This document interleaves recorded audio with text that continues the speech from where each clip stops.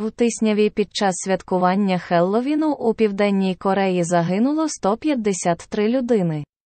Свідки кажуть, що присутність поліції була незначною, хоча на вулицях юрбилися люди. Смертельна тиснява на найбільшому святкуванні Геловіну в Сеулі забрала майже вдвічі більше жінок, ніж чоловіків, а кількість загиблих до вечора неділі зросла до 153. Крихітні провулки району нічного життя Ітхевон зібрали близько 100 тисяч людей у суботу ввечері, повідомляють місцеві ЗМІ. Натовп людей і вузькі вулички були не пристосовані для великої кількості людей.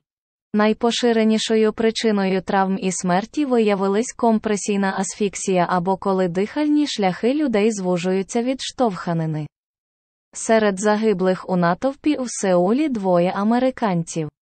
Повідомляє Держдепартамент. З міркувань конфіденційності ми наразі не маємо додаткових деталей, йдеться в повідомленні.